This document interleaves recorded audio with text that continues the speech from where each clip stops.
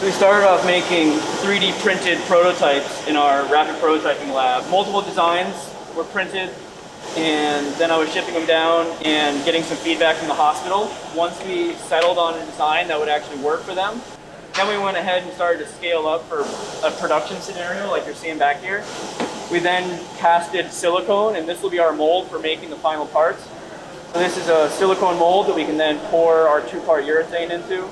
Um, in about 25 minutes, the parts are ready to pull and that's what comes out of that silicone mold is our final part that gets assembled with a shield, and that's your, that's your face shield.